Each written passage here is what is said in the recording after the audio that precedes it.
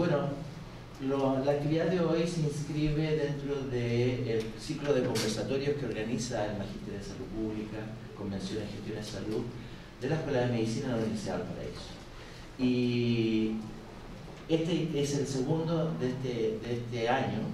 Tuvimos un, primer eh, conversatorio con el director nacional de FONASA que vino a plantear cómo um, se piensa hacer la ejecución desde FONASA, ¿no es cierto?, de eh, la ley corta que se acaba de aprobar en mayo recién pasado. Y hoy día contamos con la presencia de Víctor Torres, que es el superintendente de salud y que tiene la eh, tremenda tarea ¿no? de ya estar implementando la solución que se debió a la crisis de ISAPRE. Siempre cuando presento a Víctor eh, digo dos cosas que eh, para los que ya me han escuchado un cliché, pero bueno, tengo que repetirlo. Él eh, es un ex estudiante de esta universidad, por lo tanto yo eh, soy mayor que él y le, hice clase alguna vez. este, y además él es profesor de la Universidad de Valparaíso. Él se mantiene con, como profesor del Departamento de Anatomía. Eh, contribuyendo a la labor docente, entonces es como de la casa, ¿no? Y que dentro de su trayectoria profesional eh, haya podido mantener el vínculo con el alma mater, ¿no es cierto? Es una cosa bonita. Hoy día está, ¿no es cierto?, eh, después de una trayectoria interesante también en, el mundo político y de la salud pública, eh, en esta responsabilidad, les decía yo, ¿no?, de eh, estar de superintendente de salud justo en un periodo que correspondió a una denominada que todos conocemos como la crisis de las ISAPRE, ¿no? Y que motiva un, un proyecto de ley que finalmente después de un, año se transformó en ley de la República y ahora queremos que Víctor nos cuente eh, los elementos centrales tanto de la ley y cómo va la ejecución, que eh, sabemos eh, no va a ser fácil. Em, Víctor, por favor.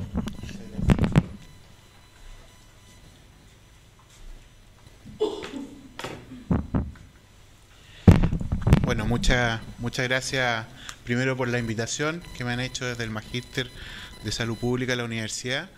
Yo con toda alegría vengo a mi alma mater, efectivamente hago clases hace ya más de cinco años eh, acá. Soy profesor asociado de la escuela, o sea, ad honorem. Pero con mucho gusto, digamos, de poder mantenerme conectado, creo que ha sido una experiencia muy positiva para mí al menos y espero que también para los, los estudiantes. Bueno, como decía eh, muy bien el profesor Parada, eh, durante, desde entre el año 2022 hasta la fecha, hemos vivido algo que se ha denominado públicamente como la crisis de la ISAPRE. Eh, y que derivó finalmente en esta ley corta que más que una transformación estructural, lo que hace es poder resolver algunas situaciones que permitan poder cumplir con determinadas sentencias de la Corte Suprema. Este es un tema que puede, puede ser un poquito agrio o complejo, pero a mí me parece tremendamente necesario que ustedes lo puedan manejar. ¿ya? Y para eso, creo que lo primero eh, que tienen que conocer es cómo se contextualizó, cómo se llegó precisamente a esta situación. Y comentarles que la Corte Suprema durante muchos años, ¿ya? producto de la judicialización de los usuarios, se dedicó a resolver tres materias. ¿ya? La primera, que es la adecuación de precios base. La segunda, las tablas de factores de riesgo. Y la tercera, el reajuste de la prima GES. ¿ya? Entonces, cuando uno habla de esto, tiene que conocer qué es lo que es el precio base, qué es una tabla de factores y qué es lo que es una prima GES. Y para ello nos vamos a, un plan. ¿ya? Cuando uno ve un plan, en este caso estamos simulando un plan de una mujer de 35 años, ¿ya? Con esta tabla de factores de riesgo.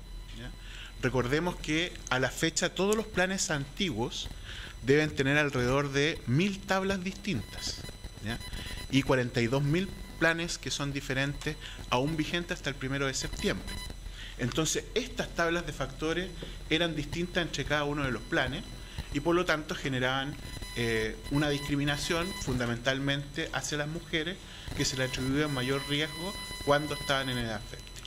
Entonces la Superintendencia de Salud el año 2019, a propósito de un fallo del Tribunal Constitucional del año 2010, establece por la vía administrativa una sola tabla que se denomina tabla única de factores y que es la que van a tener que implementar las ISAPRES desde el 1 de septiembre en adelante. Entonces, para entender esto, ¿cómo se constituye entonces un plan de salud? Primero el precio base, cada uno de los planes tiene un precio eh, fijo, digamos, que lo constituye, que se multiplica por la suma de los cotizantes. Como esta es una mujer, por lo tanto se va a multiplicar por un solo factor. Pero si hubieran hijos, por ejemplo, otras cargas, tendríamos que sumar todos los factores y multiplicar el precio base por esa suma de factores. Lo que nos entrega un precio, que siempre está en UF, que es el precio final del, plan complementario. Sin embargo, al, transcurrir del tiempo se agregaron otros elementos a los planes de salud. Primero, después de la reforma del 2005, se agregan los precios GES y también se adicionan algunos beneficios que tú puedes negociar directamente con cada una de las ISAPRES. Por lo tanto, cuando ya tú sumas el precio final del plan complementario, la prima GES y los beneficios adicionales, tienes un total de cotización pactada. Ahora se ha sumado otra prima, que es la de menores de dos años, y se va a sumar seguramente la prima de, eh, de, equilibrio, digamos, que estamos calculando cada una de las ISAPRES. Pero por el momento, quedémonos con esto. ¿ya? ¿Qué es lo que ocurrió desde el punto de vista de la judicialización? Nosotros tuvimos el año 2022 en las Cortes de Apelaciones del país prácticamente 340.000 recursos, lo que es muchísimo.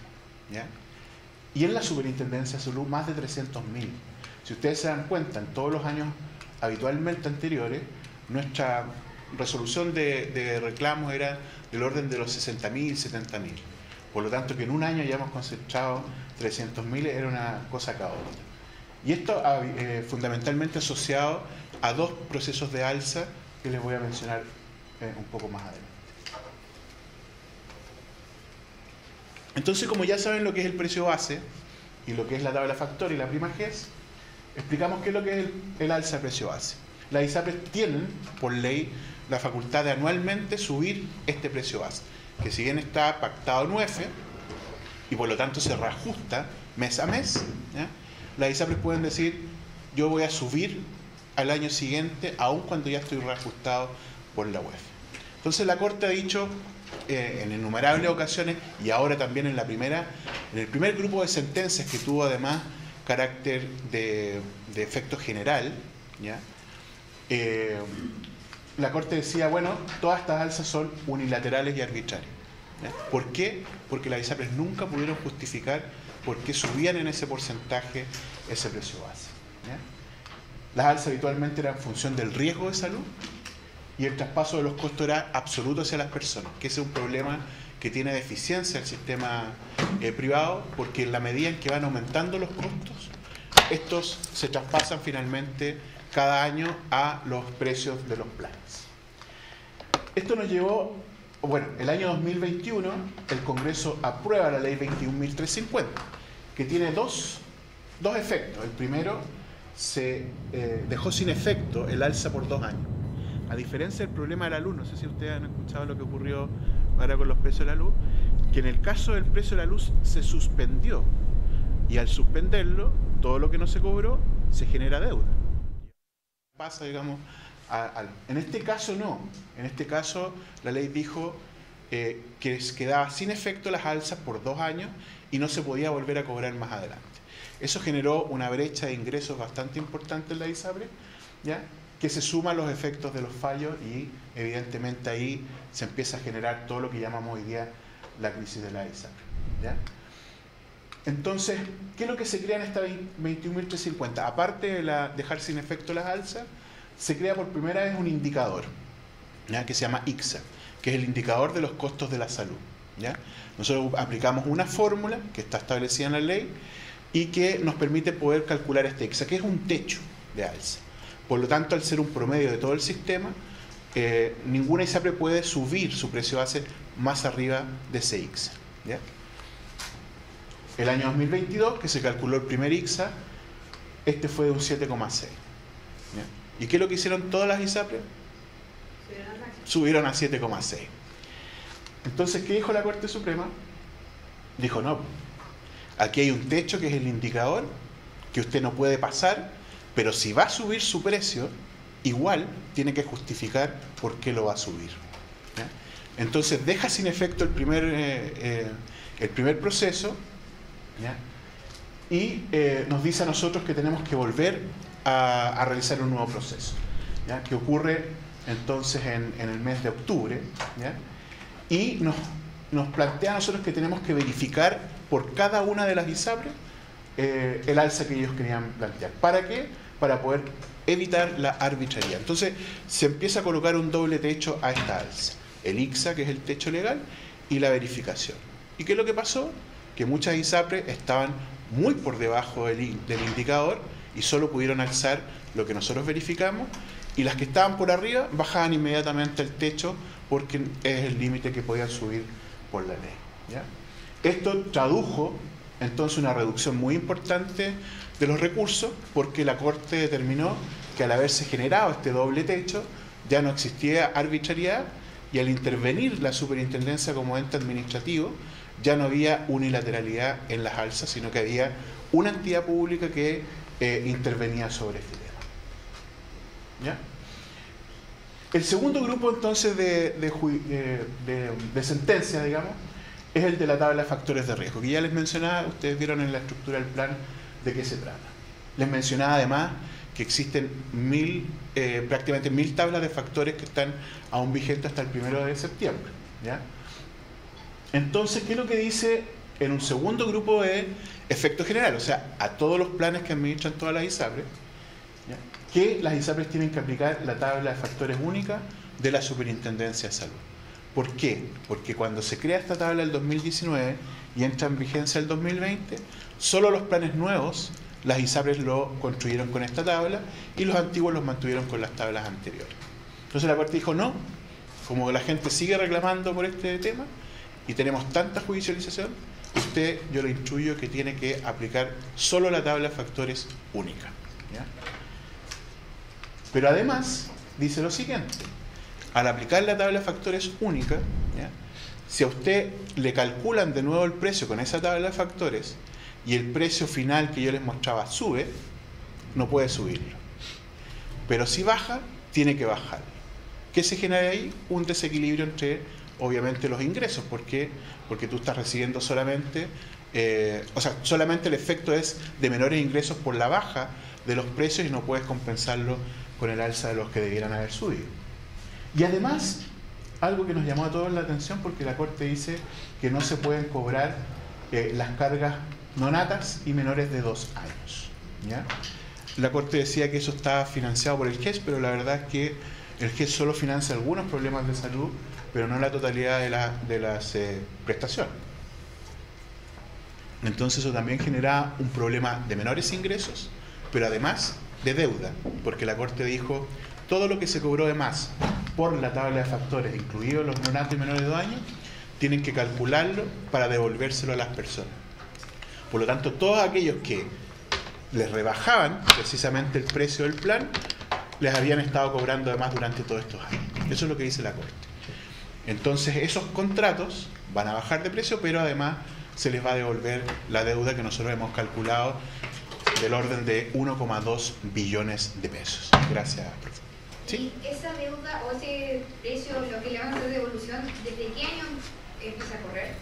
Como retroactivamente. Buena pregunta, porque la Corte, eh, esa fue una de las primeras dudas, porque yo les comentaba que el año 2010 el Tribunal Constitucional dice que no pueden existir tablas de factores, elimina en realidad cuatro, cuatro numerales para creación de las tablas de factores. Y de ahí en adelante la Corte Suprema empezó a fallar a favor de las personas de manera individual. Pero ahora como fue con efecto general, la Corte dice, mire, el único instrumento objetivo que tenemos es la tabla de factores de la superintendencia.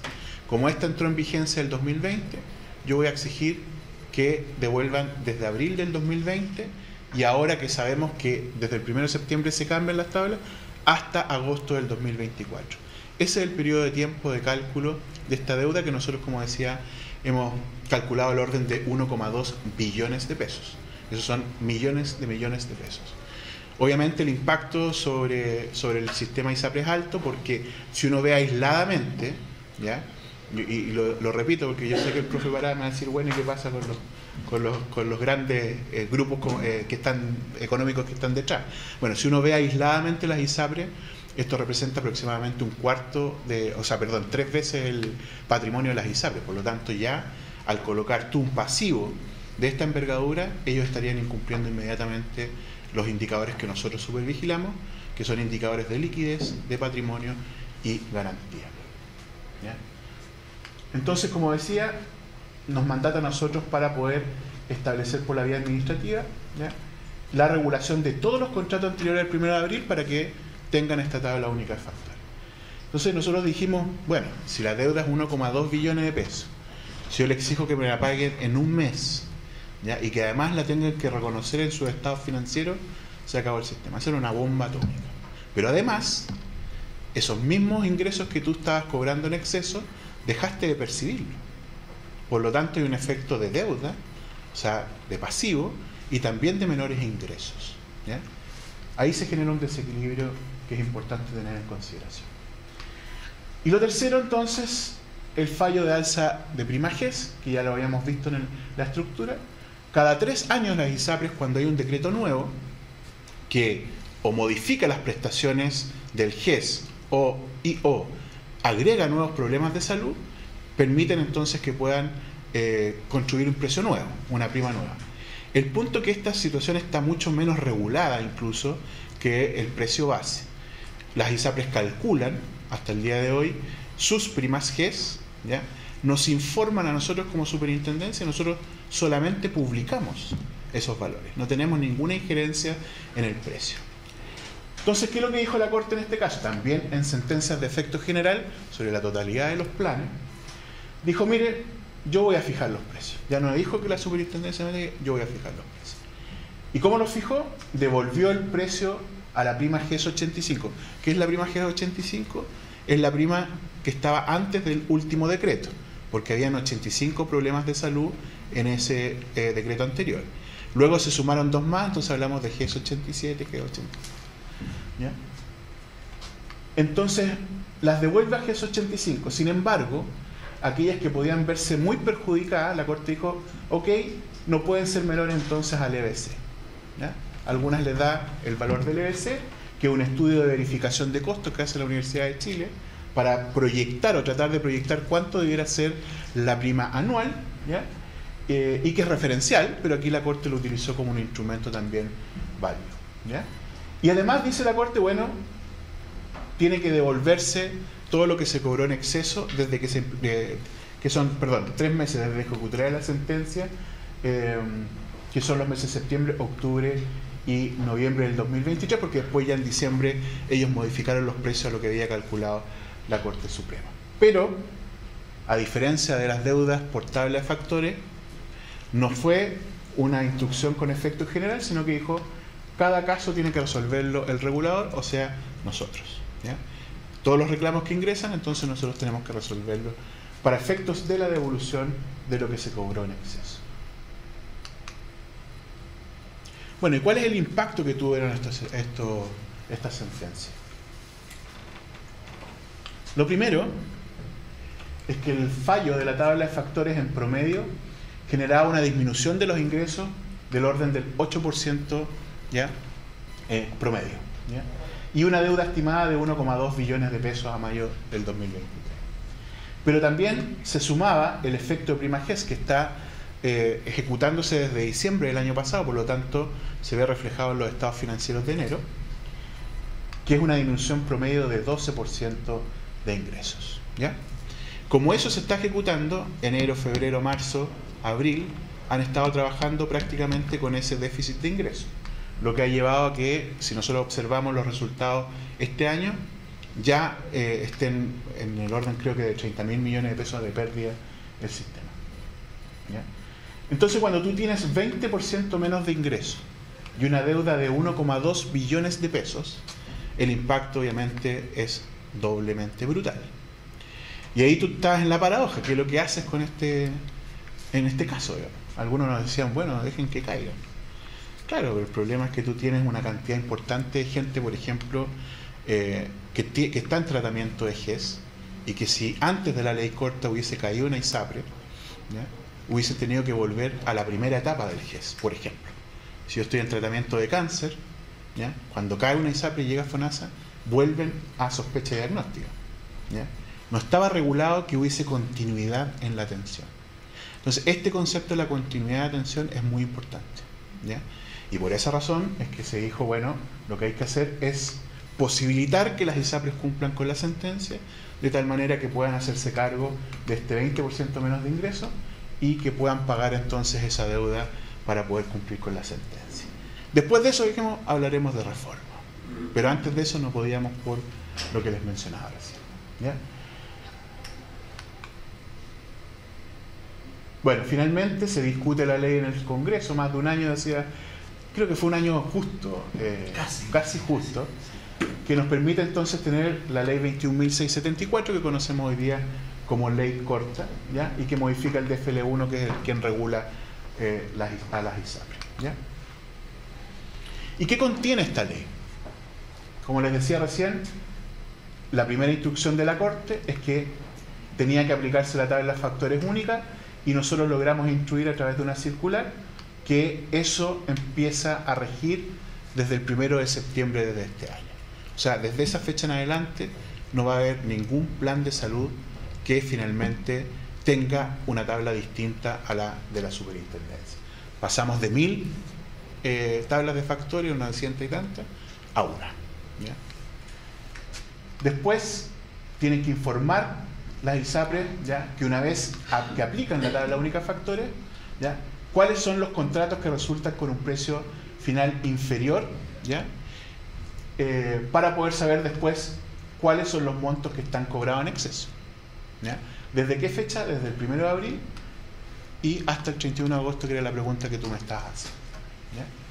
¿Qué otra cosa más dice esta ley y las circulares respectivas?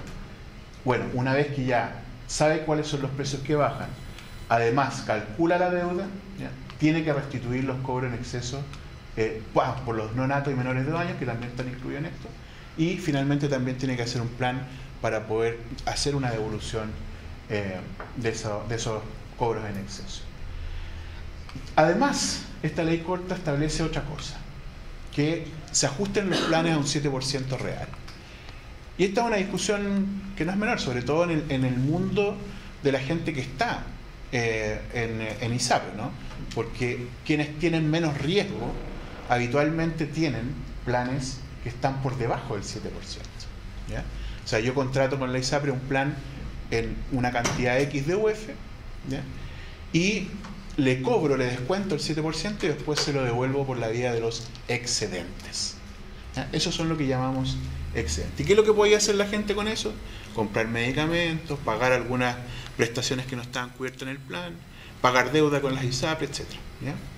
Y si no lo usaban, en enero de cada año se les devolvía en efectivo. Entonces no estaba siendo cobrado de manera efectiva el 7%, que es la cotización obligatoria que todos los chilenos, salvo el régimen de, de las Fuerzas Armadas y de Orden, debemos pagar. Hay una competencia desleal con FONASA, porque FONASA no puede cobrar menos del 7%, y consideramos que además subfinanciaba ¿ya? determinados planes que a nuestro juicio es lo que tiene que considerarse con este 7%, mejores coberturas, no disponibilidad para comprar cremas para la cara.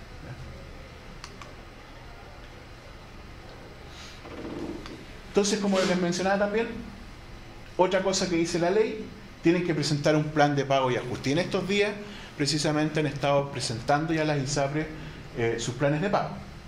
En estos tienen que informar los contratos de efecto de evolución, informar los montos que van a devolver en UF, eso lo han estado informando, y las modalidades de devolución. ¿Qué dijo la Corte Suprema? Se van a devolver por la vía de los excedentes, a pesar de que fueron cobros en exceso voy a hacer la diferencia. Los excesos son cuando tú, por ejemplo, tienes más de un empleador y todos te hacen el descuento de salud, finalmente terminas pagando más de lo que pactaste con la ISAPRE. y en ese caso se te tiene que devolver porque es un exceso de cotización. Pero cuando tú tienes planes por debajo del 7%, la diferencia entre lo que te descontaron y lo que pagas por el plan, eso se llama excedente. Entonces, el régimen de excedentes permite, como les mencionaba recién, eh, varias cosas, pagar prestaciones, etcétera, etcétera. Pero además se implementaron dos eh, elementos adicionales. Uno lo han llamado de manera coloquial pronto pago, pero en definitiva es una negociación que puede hacer la ISAPRE con cada uno de los afiliados a quienes les, debe y con una tasa de descuento adelantar el pago. Vamos a ver si lo usan o no. Y los otros títulos representativos de deuda, esto fue bien polémico porque es como pasarte un bono de deuda y tú vas y lo transferes en el mercado, recibes liquidez y después quien te lo compró finalmente se lo cobra la ISAPRE, por lo tanto te aplica también una tasa de descuento. Yo asumo el riesgo de tu, de tu bono, pero te pago menos de lo que vale el, título. Estos elementos fundamentalmente buscan acelerar el pago de la deuda. ¿Por qué? Porque las ISAPRES no pueden retirar eh, utilidades mientras no paguen la totalidad de la deuda. Y como dice acá, la deuda se puede pagar hasta en 13 años en aquellas personas eh, menores de 65, hasta en 5 años los mayores de 65 y hasta 2 años los mayores de 80.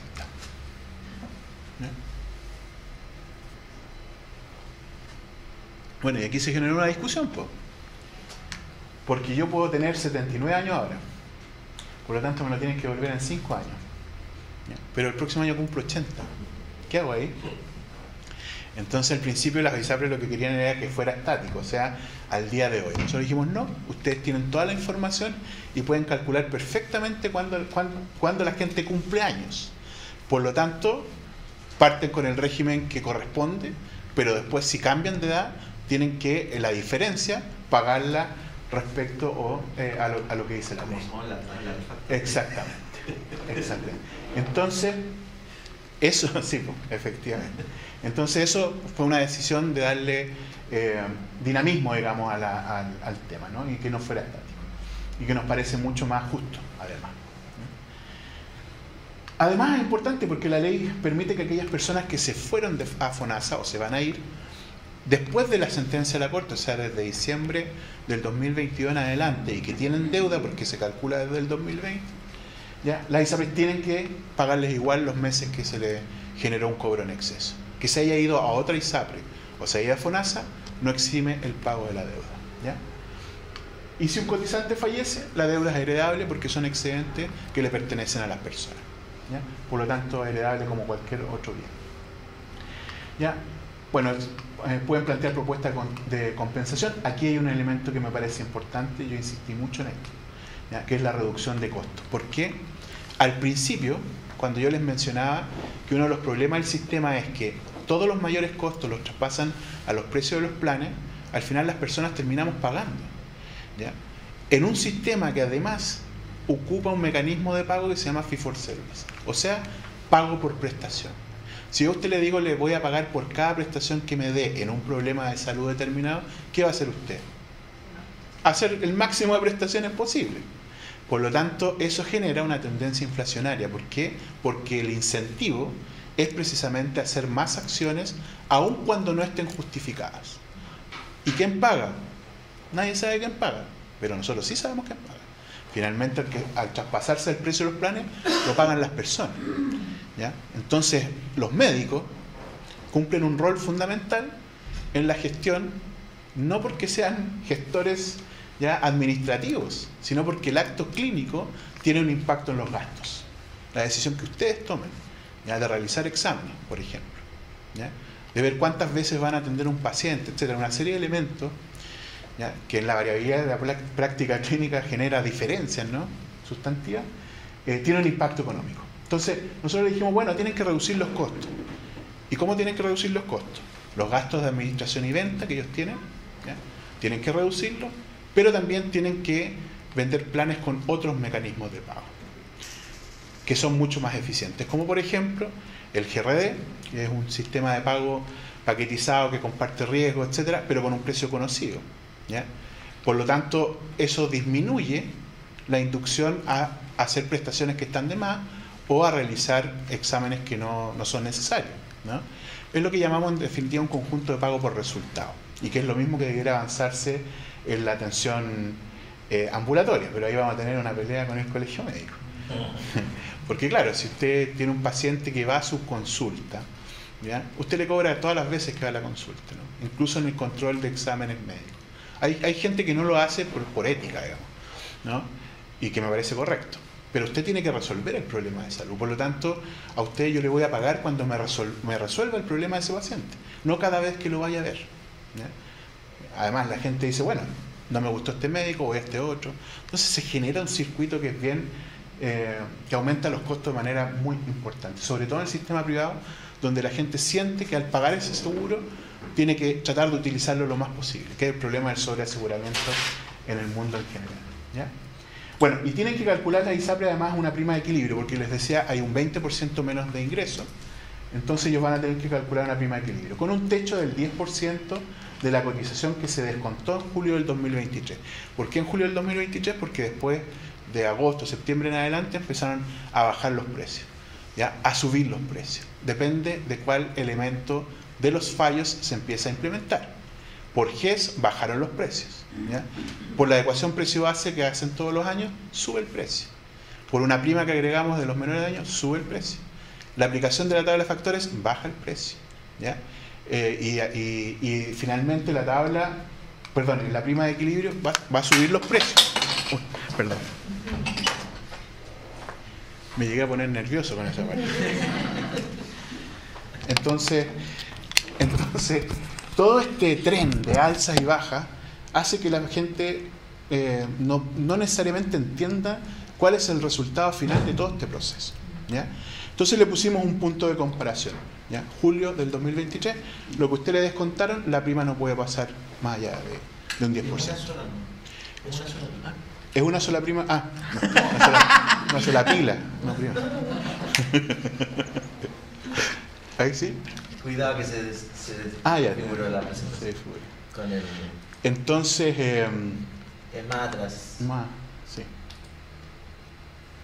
Bueno, entonces, como les decía, se tiene que calcular esta prima de equilibrio. Entonces, hay gente que al calcularle la prima de equilibrio, se le va a cobrar por cada beneficiario y como se le bajó a algunas personas por GES y tal de factores, finalmente, aun cuando se aplique la prima de equilibrio, van a seguir pagando menos que en julio del 2023. Hay otros que van a pagar lo mismo y hay otros que van a pagar más. Entonces los que van a pagar más no se les puede cobrar más del 10%. Por ejemplo, si ustedes contaron 100 pesos en julio del 2023 por este efecto y la prima o la suma de las primas según su grupo familiar es 15, se rebaja inmediatamente a 10 porque no puede pasar el 10% del valor. Entonces se genera un truncamiento del cobro. Perfecto. Se genera un, truncamiento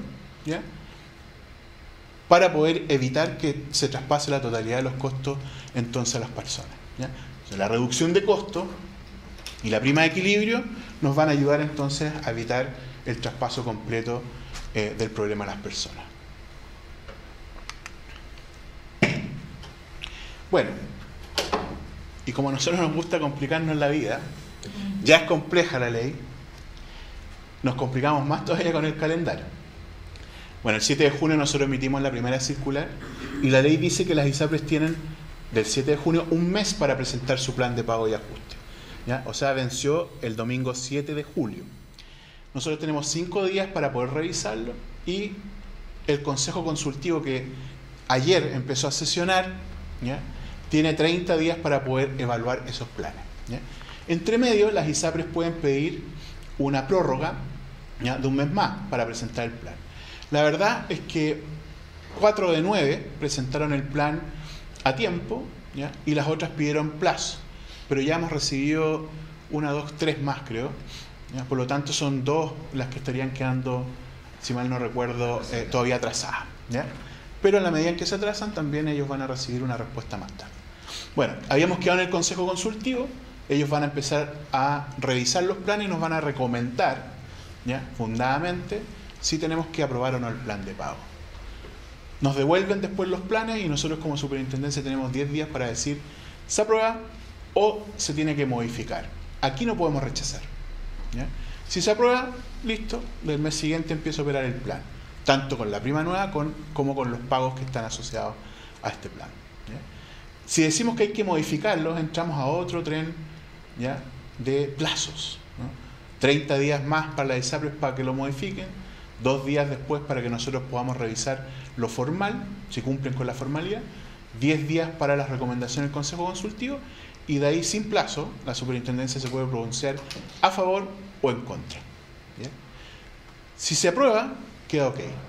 Pero si rechazamos nosotros el segundo intento de las ISAPRE, tenemos la obligación de nosotros construir en 30 días eh, un plan para las propias ISAPRE. Lo que es bien complejo porque los incumplimientos igual están asociados a multas, en, algunos casos hay elementos hasta eh, penales, entiendo, sanciones penales, eh, para los miembros del directorio, para la gente que, dirige, digamos, las ISAPRE. ¿no? Por lo tanto, están bien asustados que nosotros hagamos un plan que la responsabilidad del cumplimiento es de, ellos y no de nosotros.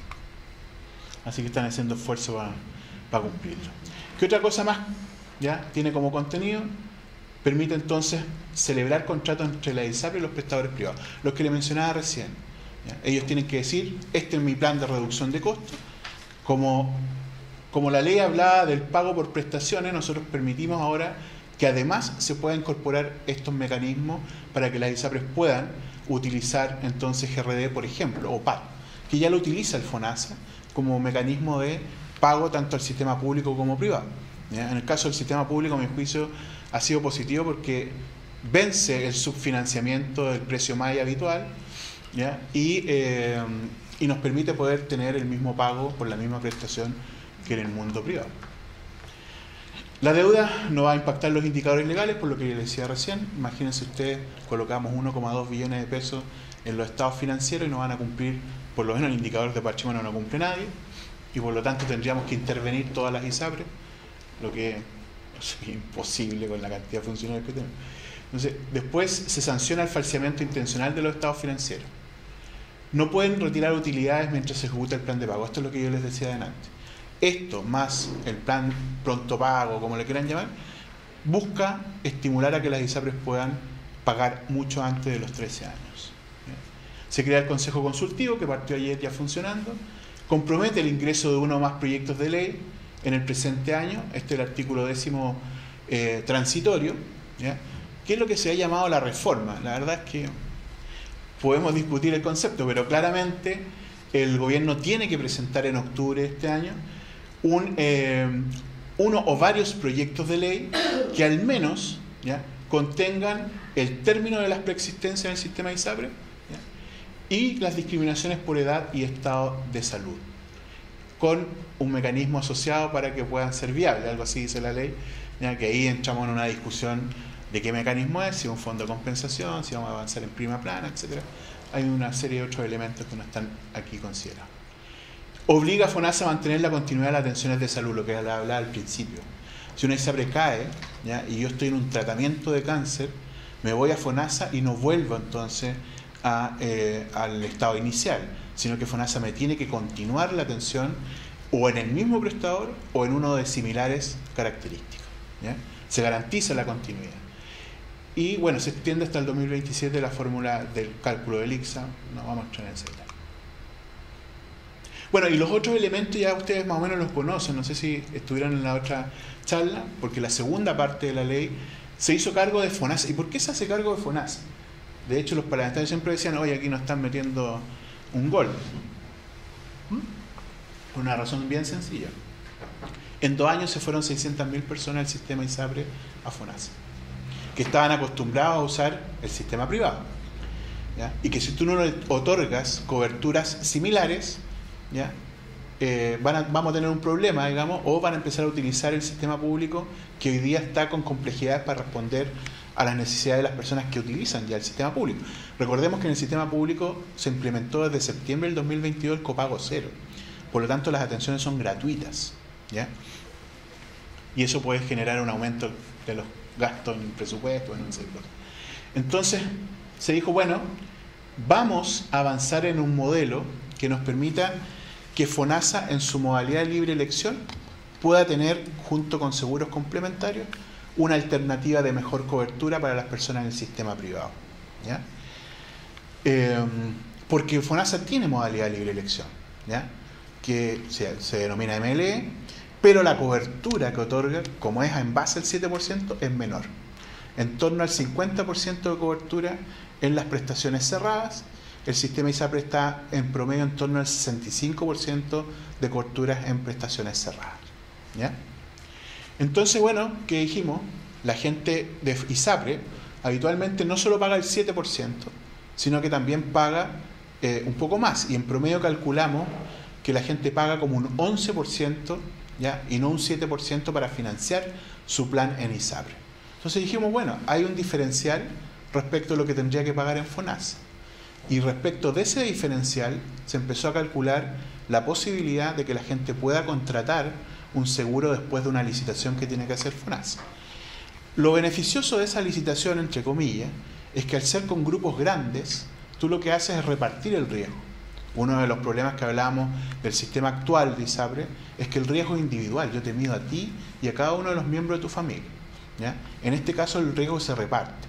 Entonces, o tienes acceso a un mejor seguro, o no te excluyen, porque hoy día las personas con más edad quedan excluidas de eh, algunos eh, seguros complementarios, o quien ha tenido más eh, costos asociados a más problemas de salud. Bueno, le da FONASA la facultad de poder reclasificar a las personas de oficio, y esto otro también es importante, la continuidad de las atenciones de GES y de CAEC, que es un sistema que existe en el mundo privado, pero que no existe en FONASA, pero va a empezar a existir en tres años más. FONASA va a tener también un CAEC. ¿Qué es lo que es el CAEC?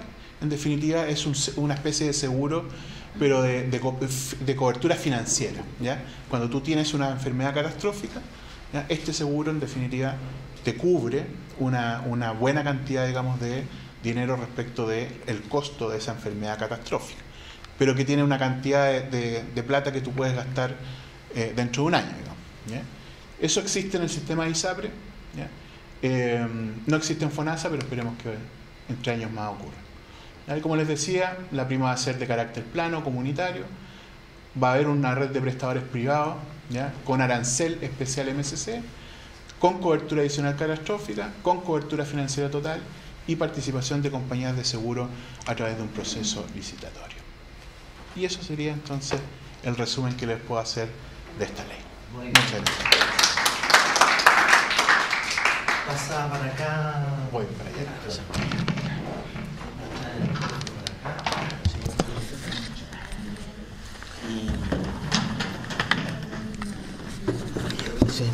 Y la, la cámara. Espero que se haya, sí, la, la se haya entendido. Sí, excelente.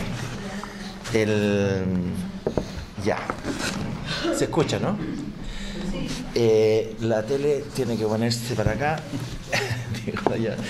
Eh, bien, bueno, eh, se nota que es profesor, entonces súper claro, ¿no es cierto? Súper didáctico, muy, muy ordenado, muy excelente la presentación desde mi punto de vista porque plantea muy, de manera bastante prístina lo que, lo que significa esta ley corta, ¿no? Yo tengo oficialmente el rol de comentador, ¿no? Eh, eh, y eso, eso es un desafío porque hay tanta cosa por comentar, ¿no?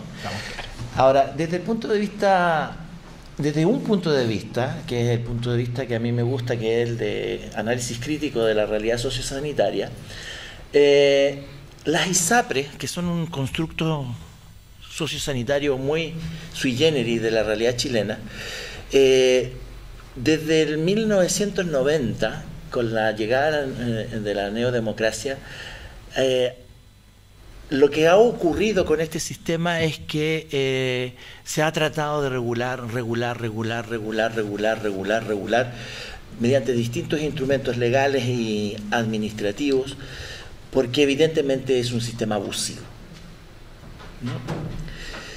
Y resulta de que vino el golpe del del fallo del Tribunal Constitucional que las declara fuera de la Constitución, la misma Constitución del 80, propia que permitió la creación de la ISAPRE, y resistieron. Luego viene la circular de la Superintendencia de Salud en el 2019 y resistieron. Luego vienen tres fallos de la Corte Suprema y resistieron vía ley corta. A mí me, eh, me, me interesa comentar esto, porque esto, es, esto forma parte de lo que somos como país. ¿no? Porque además hay un agregado con este comentario que estoy haciendo, ¿no? y que todo el mundo sabe, pero se habla poco. Y es que de aquí a que haya una reforma nueva, igual vamos a seguir fuera de la Constitución, porque se mantiene la discriminación por edad. Y eso es lo que dijo el Tribunal Constitucional en el 2010, deja al sistema fuera de la Constitución. Somos un país eh, que, eh, según la nueva terminología que está tratando de impulsar la política global, somos, seríamos un país muy resiliente en ese sentido, ¿no? porque somos capaces de vivir fuera de la Constitución, en un Estado de Derecho. Eso para mí es muy interesante. Pero eso es mi, mi opinión y el primer comentario de fondo. Ahora, yo me gustaría que se comentara más, eh, Víctor, usando de tu presencia, respecto de dos elementos. Uno, esta nueva prima, prima para los menores de dos años, que desde mi punto de vista es, el Tribunal Constitucional pide que se elimine la tabla de factores y la superintendencia el 2019 sí, sí, vamos a eliminar la discriminación por sexo, pero la de edad tiene que quedar, pero es esta, es una sola. Pero ahora, diciendo que eso se va a hacer cargo el sistema de eso, pero se crea una prima para una edad específica, una prima extra, igual impacta en el plan de los planes. Y entonces ahí me gustaría que te explayaras un poquito más cómo fue la lógica del legislador. Eh, tú no eres legislador, pero estuviste ahí en todas las reuniones, te tocó ardua tarea, la vimos por la televisión. Y lo otro que comentar respecto de esto de la continuidad de la atención, ¿no? Porque resulta de que eh, yo, eh, mi opinión personal es que esta, esta campaña como del terror que se hizo de que si caían las ISAPRE iba a caer todo el sistema sanitario, iba a haber una crisis sanitaria profunda, yo siempre la discutí porque yo creo que, como tú también señalaste, la, gente que está en el sistema ISAPRE está acostumbrada a eh, atenderse en prestadores privados. ¿no? Y el hecho de que eh, se, ve, se viera obligada a irse a FONASA ante la quiebra de su ISAPRE no significaba en una relación directa eh, y inmediata de que esa persona se iba a atender en el sistema público, ¿no? sino que iba a seguir atendiendo el sector privado con eh, la modalidad de libre elección de FONASA, ¿no es cierto? Y quizás teniendo más copagos, ¿no? Pero como se liberaba del, exceso de, cotización del 7 al 11 en promedio, ¿no es cierto? Decía, bueno, esa plata o la ocupa en pago directo, copago directo, o contratando otros eh, seguros privados complementarios que existen, ¿no? Pero el, gran, el grave problema era justamente las personas que estaban con enfermedades graves o enfermedades GES graves, ¿no es cierto?, que estaban con prestadores eh, privados ahí eh, muy bien atendidas, ¿no? Y entonces el FONASA no podía hacer eso, ¿no? Y yo creo que por la vía administrativa, incluso con una ley cortísima, se podría haber hecho, pero eso significaba una inequidad muy profunda, ¿no? Porque los que estamos en FONASA no tenemos una, una atención eh, cuidada, privilegiada, excepto lo que está en el GES, ¿no? Pero no hay un prestador privado, o sea, yo me atiendo con el doctor X en la clínica X y ahí yo me quiero, aquí me quiero tratar, ¿no? Entonces, si hacer eso solo con la gente que pasaba desde ISAPRE a FUNASA eh, era una solución, era, era una posible solución, sí, pero muy inequitativa. Entonces, lo que yo planteaba en ese momento yo supongo que a mucha gente se le ocurrió, no es una idea muy original, era que se hiciera eso, pero que en imagen espejo, personas que estando con las mismas situaciones sanitarias en FONASA fueran tratadas de la misma manera. ¿No? Una persona con, un cáncer grave, terminal, que está siendo atendida en una clínica eh, muy cara del barrio oriente de Santiago, ¿no es cierto? Entonces, una persona de FONASA en las mismas condiciones, ponerla en, esa, en ese mismo tratamiento de prestación privada. Eh, pero que aquí en la, tú lo señalabas en tu presentación, ¿no es cierto? Aparece que hay eh, la ley le pide al FONASA que mantenga ciertas condiciones de continuidad de atención y eso me gustaría que lo especificaras más. Entonces son dos cosas, eh, abusando de, tu buena voluntad para acompañarnos esta fría mañana, tarde de Reñaca, el tema de la prima de menores de dos años y el de la continuidad de atención. Gracias. Eh, el primer comentario que quiero hacer es que me parece muy relevante que existe un análisis crítico. Hace unos días atrás yo hice una clase de los estudiantes de primer año y terminamos hablando del pensamiento crítico, en una sociedad que critica mucho, pero practica poco el pensamiento crítico. Y cuando tú estás en la universidad es imposible abstraerse de tener pensamiento crítico. Ustedes van a ser médicos en investigación, hay que tener pensamiento crítico. Entonces, me parece súper relevante, estemos o no de acuerdo, pero es muy relevante, además en un ejercicio dentro de un ámbito de la tolerancia, ¿no? porque vamos a tener seguramente posiciones distintas. Eso es lo primero. Lo segundo es que quería hacer un alcance. Yo ahí tengo una discrepancia respecto a la inconstitucionalidad, porque la, lo que hace el Tribunal Constitucional elimina cuatro de cinco elementos para, eh, para poder calcular las tablas de factores. Sin embargo, mantiene el, el concepto tablas de factores, no lo elimina, por lo tanto pueden existir. Y en segundo lugar, no elimina ni la frase edad ni sexo.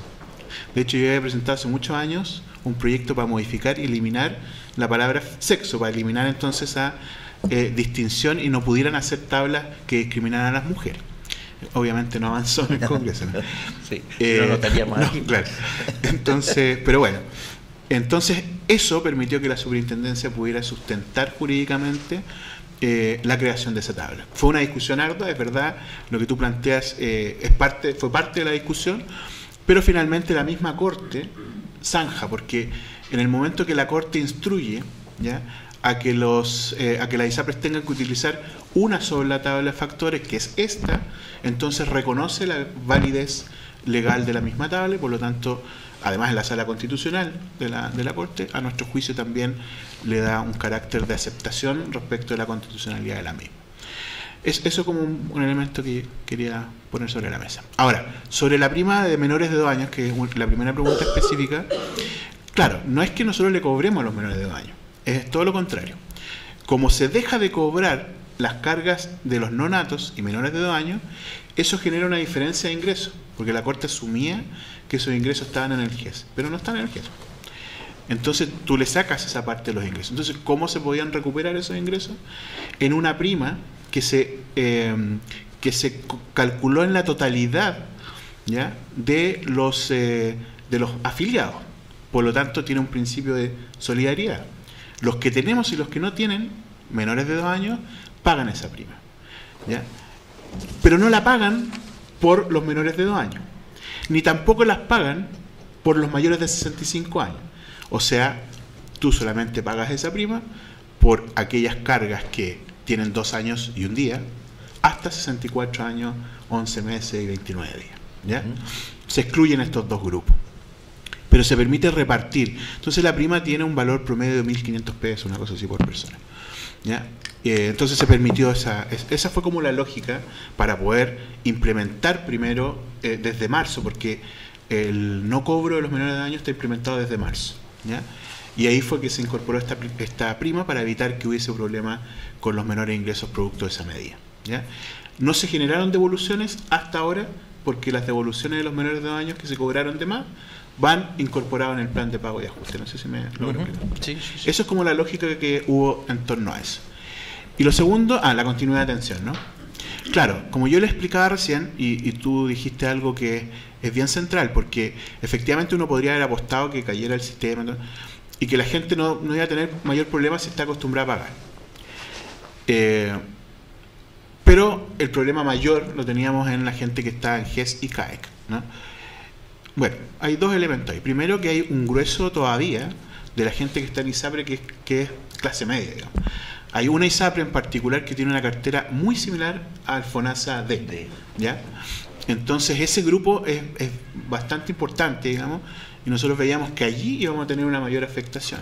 o ahí, e, ese grupo iba a sufrir más, y obviamente la gente que está en GES y CAEC. Entonces, ¿qué es lo que hace esta ley? Obliga al FONASA a que si cae una ISAPRE, mantenga entonces la continuidad de la atención y tenga que cubrir entonces las prestaciones que estaban siendo financiadas por GES y por CAEC en un prestador similar, sino el mismo. ¿ya? No se obliga el mismo porque si FONASA puede negociar los precios, porque claramente FONASA, eh, como tiene un volumen de 80% de la población, eh, aplica algo que se llama el poder monopsónico, como casi comprador único, entonces presiona a la baja los precios. ¿ya? A diferencia del monopolio que las tiende a subir. Bueno, entonces eso, eso es bien, bien eh, relevante. Em, pero todavía tenemos un problema con la gente que voluntariamente se cambia. Entonces nosotros tenemos una instrucción que está paralizada porque queremos llegar a un acuerdo con Francia para que no se cambie por lo menos de estado. Si tú estás en tratamiento, no vuelvas a sospecha diagnóstica, porque mm, eso es aberrante. O sea, hoy día tú vas en FONASA solamente, si te cambias de ISAPRE a FONASA eh, y estás en tratamiento, tienes que volver a sospecha diagnóstica. Y eso es brutal. ¿no? Imagínense un tratamiento de cáncer de, tratamiento de cáncer o cualquier otra patología que está en GES, sería brutal. Entonces, eh, eso lo vamos a arreglar por la vía administrativa. Obviamente que FONASA lo va a hacer a través de su red, su red es la red pública, pero si se cumplen las garantías de oportunidad, puede contratar un segundo prestador que habitualmente es un segundo prestador privado. ¿ya? Que eso es lo que ocurre por lo menos en el GES. Eso no sé, profe. Sí, muchas gracias, muchas, muchas gracias. No sé si alguien en el público quiere hacer alguna pregunta. Sí, diga, por favor. No, es tan específico con el tema de las ISAPRES, pero con el propósito, por ejemplo, de la universalización de, la salud. ¿Mm? Sí, sí. Atención primaria, dice. Primaria, sí. sí. ¿Cuál es la idea de o de dónde van a venir esos fondos que se van a agregar, el costo del fondo que va a ser agregado, que no va a venir de la ISAPRE, no va a venir de, dónde va a salir y por qué, cuál es el propósito. Vale. Eh, voy a repetir tu pregunta para el público que está en, YouTube. Eh, se pregunta, eh, en la estrategia de universalización de APS se entiende que es para todos y todas las chilenas, ¿no? sea ISAPRE, Fuerza Armada, y FONASA que ya lo tenemos. ¿no? Entonces, pregunta, eh, ahí la ISAPRE no va a pasar ningún fondo para el sector público para que se implemente esa estrategia, y menos la Fuerza Armada. Eh, entonces, ¿cómo se financia? ¿no? Esa es la pregunta. Es muy buena la pregunta, porque ha sido una discusión durante el tiempo de implementación de la atención primaria universal. Claro, la discusión es quién financia finalmente. ¿no? Ahora, yo no sé si ya tuvieron la clase de financiamiento, de aseguramiento. No, no, no. bueno, pero FONASA tiene dos vías de financiamiento, ¿no? Que es el presupuesto de la nación, o sea, por vía de impuestos, generales, y por otro lado tiene las cotizaciones obligatorias. ¿ya? que es el menor porcentaje de financiamiento FONASA. El mayor porcentaje de financiamiento es por la vía presupuestaria. Y en el caso de la atención primaria, no está financiada por las cotizaciones, está financiada por la vía de los impuestos generales. Por lo tanto, se ha subentendido que el financiamiento es por la vía de impuestos generales y por lo tanto esas personas se han aportado a través del pago de impuestos para la atención de la atención primaria. Es discutible porque, claro, uno podría decir, bueno, le voy a cobrar a la ISAPRE la prestación que le estoy otorgando, pero en la lógica de universalización de la salud mantendríamos igual el problema de, de fragmentación o de segmentación. Entonces, creo que es un paso bien interesante para lo que uno podría aspirar si estamos de acuerdo en tener un sistema, eh, no único, un sistema universal, de salud. Gracias, profe, ese es el concepto. Que es distinto, único, universal.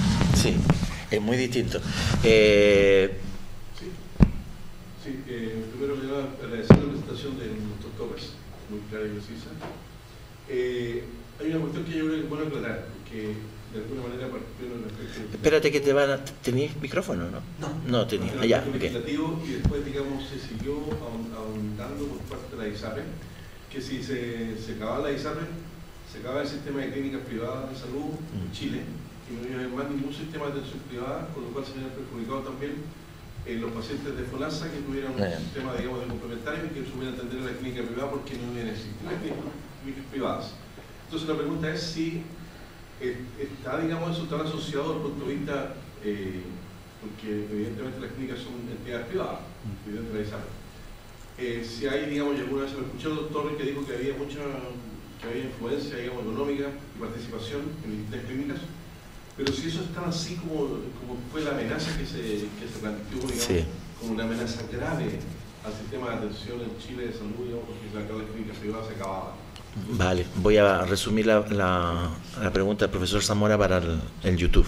Eh, parte de la campaña de, de, del terror, denomino yo, de, de, de precaución, dirían otros, eh, señalaba de que existía el riesgo de la quiebra masiva, ahora no solo de las aseguradoras, sino que de los prestadores privados. ¿no? Y, eh, y, eso eh, agregaba otro elemento que ya no solo afectaba a la gente de ISAPRE, sino también a los FONASAS que hacemos uso de la libre elección. Entonces, el profesor pregunta, ¿qué tan desierto había en aquello, en esa, esa hipótesis? Sí, gracias. A ver, quiero hacer una diferenciación, porque si cae una ISAPRE o quiebra una ISAPRE en algún momento, el impacto no es igual, así hay un tren de caída, digamos, muy distinto que caiga la totalidad del sistema que pueda eventualmente caer una ISAPRE. De hecho, tenemos el ejemplo de, sí. de, de, varias que han, que han, han quebrado, digamos. Esta nueva Más Vida, que es, perdón, Más Vida, que es el último... Que quebró y claro. apareció la otra. Entonces, pero ¿cuál es el problema práctico, digamos, que se hubiese generado? Incluso con la caída dura, y que lo tenemos hoy día con, con Más Vida. Nosotros resguardamos las garantías por aquellas prestaciones que están en tránsito, ¿no? O sea, aquella prestación que se hizo, pero está en vías de ser facturada. No sé si alguna vez ustedes se han atendido en una clínica, si tú te especializas, ¿ya? te hacen un presupuesto, después te cobran distinto, bueno, es otro tema. Eh, entonces se hace el cálculo de las prestaciones, porque como es pago por prestaciones, se va calculando cada cosa que tú hiciste. Entonces, dos pasos te cobro dos pasos, etc. Entonces, durante todo ese proceso, ¿ya? antes que la ISAPRE pague, nosotros tenemos una garantía, que es del orden de los 600 mil millones de pesos, más o menos. Y mayoritariamente esa garantía es para los prestadores. El problema es que si una ISAPRE cae, tú tienes que garantizar el pago primero de las deudas con las personas, por ejemplo, de excedentes, porque también están garantizados. Entonces, ¿cuál es el problema que veíamos nosotros antes de la ley corta? Primero, tenían que garantizar 1,2 billones de dólares, de 1,2 billones de pesos. Ese es el primer problema, que ningún banco iba a garantizar eso. Lo segundo es que si caían las ISAPRE, nosotros teníamos que pagar, por lo tanto, la deuda que tenían con las personas los excedentes y luego continuar con la deuda calculada a propósito de la sentencia de la Corte. Por lo tanto, no iba a tener ni un peso en la garantía para, pagar a los prestadores. Entonces, ahí estaba el primer impacto. ¿no? Y evidentemente cuando hay un impacto masivo es distinto. ¿ya? De hecho, tenemos aún, desde el 2007, impaga las prestaciones de los prestadores individuales y, e institucionales de más vida. No se ha podido pagar por la judicialización. Tenemos del orden de los 50, deben haber 50 recursos todavía en la Corte que no se han resuelto. Eh, y además, en ese tiempo, al menos la garantía no cubría el 100% de la deuda, por lo tanto es un prorrateo el que te entregan. Te calculan tu deuda final y te pagan el prorrateo, lo que tú tienes en, en, distribuido en la totalidad que estaba garantizado. Entonces, ahí también se genera un segundo problema, que te pagan tarde y te pagan menos. Ahora, claro, hay más garantías que en ese tiempo, ¿ya? porque se cambió el régimen, eh, pero igual el impacto tiene que ver con el tiempo. Ahora, ¿sobre qué clínicas se podría haber impactado más? Sobre las clínicas de región, a pesar de que el porcentaje de atención en regiones es mayor en FONASA que en ISAPRE. Sin embargo, aunque sea un 30-40% de ISAPRE, para esas clínicas era un ingreso muy sustantivo. Por lo tanto, son clínicas que igualmente tienen menos espalda, digamos. No es la clínica alemana, no es la clínica de las Condes, que hubiesen sido las que menos se hubiesen impactado. O sea, nosotros creemos que las grandes clínicas hubiesen, se hubiesen mantenido.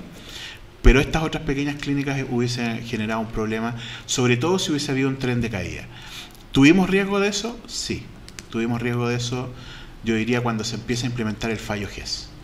Con ese 12% menos de ingreso, había una proyección de, de, un tren de caída, de un tren de caída no de quiebra inmediata, sino que de intervención eh, progresiva de una ISAPRE por mes. Y eso hubiese sido un desastre, porque quienes tenemos que intervenir somos nosotros, ahí podemos hablar otro capítulo más que es la capacidad que tiene la superintendencia, que es muy limitada. Eh, y claro, en esa situación sí hubiese sido, no al extremo de lo que se dijo, ¿ah? yo creo que siempre se habla en hipérbole, pero, pero sí hubiese habido un impacto, a mi juicio, real, si eso hubiese ocurrido. Bueno, yo voy a sí utilizar una hipérbole para finalizar, ¿no? Eh, excelente, brillante tu presentación. Yo creo que ha sido muy clara, Víctor, muy honesta y también eh, nos, nos, ayuda como mm, actor universitario, ¿no es cierto?, primero a comprender y para poder eh, contribuir con estos análisis críticos.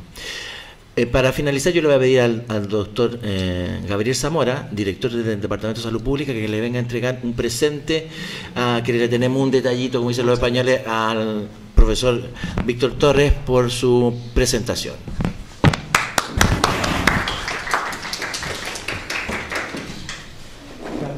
Saque foto, saque foto para que quede la... Gracias. presente aquí. Académico nuestro, pero de todas maneras, igual en este caso viene con su intendente, también es importante, y ellos ya fueron alumnos suyos a la economía, sí. bueno, muy bien. Ah, qué bueno. Súper bien. Eh, ya, pero vamos a dar por finalizada la actividad. Se agradece eh, a todos y a todas. ¿no? Muchas gracias. Muchas gracias.